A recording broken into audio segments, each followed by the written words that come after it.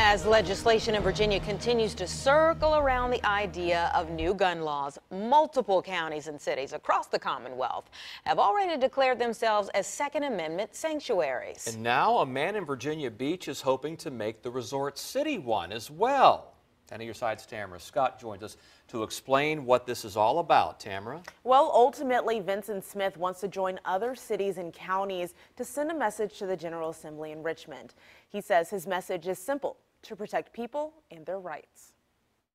You cannot legislate the evil out of man's heart. Evil exists, and no law is going to change it. So, how do you solve this issue? Continued gun violence throughout the country and in the Commonwealth. Vincent Smith says it's still a work in progress, but proposed legislation in Richmond for gun control is not the answer. They affect honest people like me.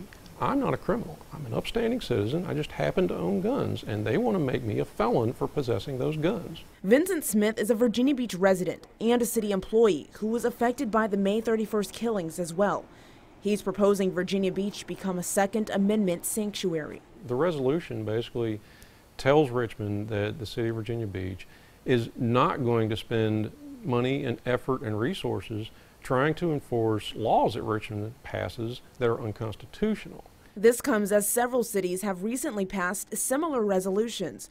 Vincent says the Virginia Beach community is still healing from the tragedy last spring. He believes certain gun control laws would interfere with the healing process.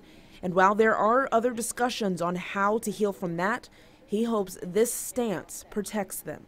As far as, you know, the employees, you know, a, lot of us are, you know, still a little bit unsettled. You know, we're in temporary quarters and we're doing the best we can with what we have. You know, there, there are employees still suffering, you know, and I, I hope the public remembers those people.